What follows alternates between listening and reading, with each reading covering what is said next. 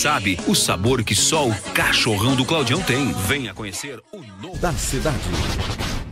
Vamos então com o João Vitor Lopes, tem informação do setor policial chegando agora, quentinha aqui na Rádio Irapuru, 10 horas 13 minutos. E essa notícia que o João vai trazer pra gente, a gente fica feliz também, né? Exato, porque Fica é feliz. bandido que vai parar Isso. atrás das Só grades. antes, rapidamente, eh, tem, olha só, ele ele é motorista de um app, né? E diz que ontem à tarde ele estava passando pela Moron, sentido Chicuta, e avistou uma senhora que não estava passando bem.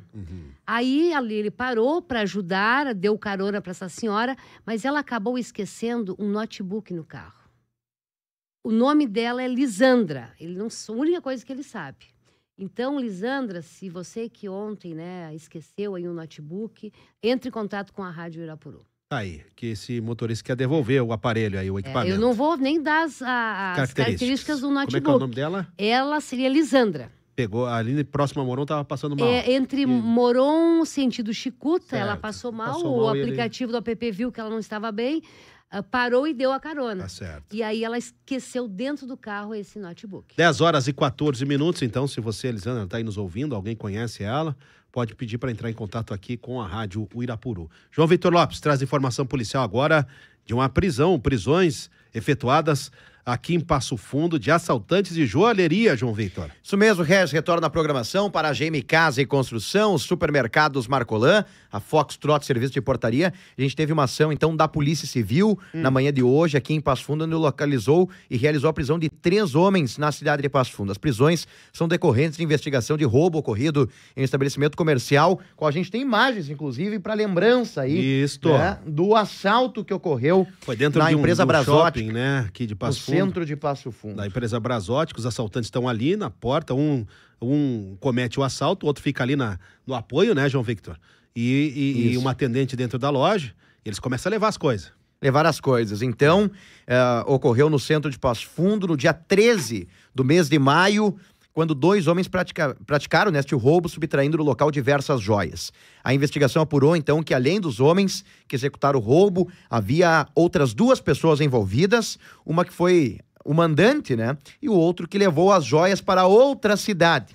Ainda, Regis, teve uma quinta pessoa envolvida que tentou coagir uma das vítimas, então, deste assalto. Foram cinco pessoas envolvidas. então. Envolvidas direto, Então é uma né? quadrilha Uma que quadrilha, tinha uma né? estrutura já, estruturada, para cometer esse tipo de assalto. Assim foram indiciados, então, quatro homens pelo envolvimento direto com o roubo, né? Sendo dois executores, um mandante e um transportador, além de uma mulher por coação, Regis.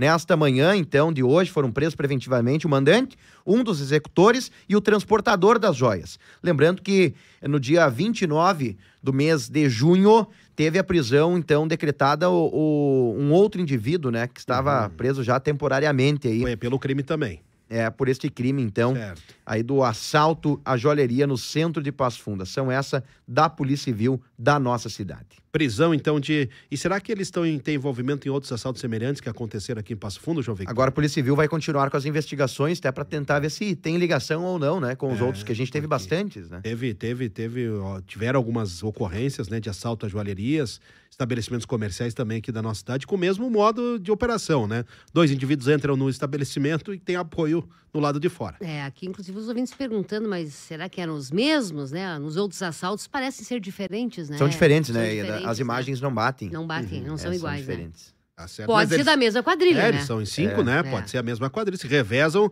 em quem vai dar o atraque e outros ficam no E apoio. os nomes, João? Até o momento a gente não tem conhecimento, né? A gente conseguir, a É, gente nem imagem da, da ação, É. né? nem imagem da prisão a gente não tem Uhum. nesse momento aí, segundo a autoridade policial, devido à lei de proteção de dados. É, segundo o delegado Diogo Ferreira.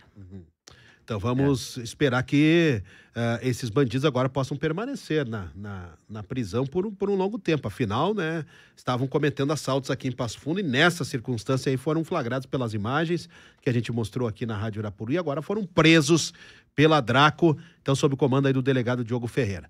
que mais, João Victor? A gente teve também, Regis, uma ação da Força Tática, estive acompanhando nesta noite passada, ah, inclusive com a nossa equipe de TV da Rádio Irapuru aí, vocês vão conferir as imagens no momento da chegada de um preso aí, então, em uma ação da Força Tática no bairro Operária. Foi durante operação, uma operação de, de rotina aí, preventiva, para prevenir possíveis crimes contra a vida, patrimônio, furto e roubo de veículos, narcotráfico. Durante o patrulhamento tático motorizado, a equipe da Força Tática, lá na rua Coronel Miranda, no bairro Operária, um indivíduo identificado com iniciais GAF, ele era conhecido da polícia por estar manda, uh, com mandado de prisão, tá? Ativo. Então a equipe da Brigada Militar estava em patrulhamento nas proximidades quando uh, visualizou o indivíduo. Fez a abordagem por meio de consulta ao sistema informatizado da Sala de Operações 190, verificou que constava, né, aberto então prisão preventiva, previsto aí pelo Código Penal 157, expedido pela Terceira Vara Criminal de Passo Fundo. Diante dos fatos, foi dado voz de prisão ao indivíduo, conduzido a DPPA Passo Fundo, né, o plantão da Sim. Polícia Civil, e posterior recolhido ao Presídio Regional de Passo Fundo. As imagens aí, então, desta ação. Inclusive, a chegada da guarnição estivemos acompanhando na noite passada aqui em Passo Fundo, Regis. Mais uma prisão na noite aqui de Passo Fundo, acompanhado pela Sim. reportagem da Uirapuru. Bem, só para voltar um pouquinho na ocorrência dos assaltantes da relojoaria, né? As nossas fontes aí, né, João, uhum. podem conseguir os nomes. Então, o seguinte, a população tem o direito de saber até para se proteger desses Com bandidos, certeza. né? Então, se você aí tem alguma informação e seja que a gente vai conferir depois, nós vamos dar o nome dos bonitos aqui. Vamos sim. É, né? é uma característica sempre Questão que a gente tem, de, né? de proteção à população de bem e não de privacidade de ladrão assaltante, né? É verdade. Então vamos, vamos divulgar o nome se a gente conseguir. Vamos ver. A polícia não pode dar ok, mas a gente tem uns meios aí, sempre tem as nossas fontes, né, João? Sempre. Falou em nome de quem, João Victor? Ao vivo para GM Casa e Construção, Supermercados Marcolan e a Foxtrot Serviço de Portaria. Outras informações você pode conferir no portal rdeuirapuru.com.br. 10 graus de temperatura agora, 10 horas e 20 minutos, 10 e 20 desta manhã de sexta-feira.